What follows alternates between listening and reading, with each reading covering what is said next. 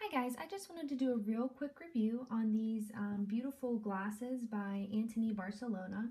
You can purchase them on Amazon and I did receive all three of them for free to review um, and share my opinion with you about. So I've had the one on the far left, that's the um, large wine glass. It actually comes in a set of two. I've had it for a while and it's a little hard to tell in this picture but in this video that is, but it is a humongous glass. Like at first you're gonna laugh and think this is ridiculous.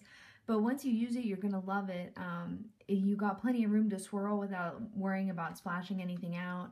And it just makes you feel really classy when you're at home drinking some wine. So you'll really like that. Um, the one in the center is the stemless wine glass. And of course the one on the right is a champagne flute. So what's really cool about these glasses is they are all um, mouth blown glass and hand painted. Every single one is hand painted. So you can tell that they all have a similar design, but they're each unique. So it's like having a piece of art. And, um, and I'm a fan of stuff like that, unique things that are created by hand. Um, it's much more enjoyable than just something that's mass produced in a factory.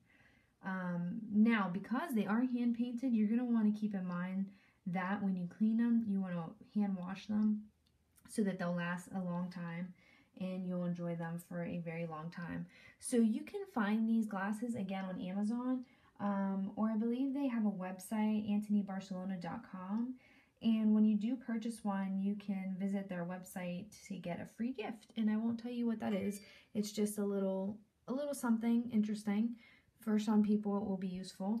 Um, and it's always nice to feel appreciated and get an extra little bonus. So I hope this video has been interesting to you, if, especially if you've been looking into these glasses, um, to kind of give you an idea of, of what they're like in person. They're really, really beautiful, and it's hard to capture on video or in pictures um, until you're really in person. It's a little bit hard to tell, but hopefully it's giving you just a little hint of what it's like.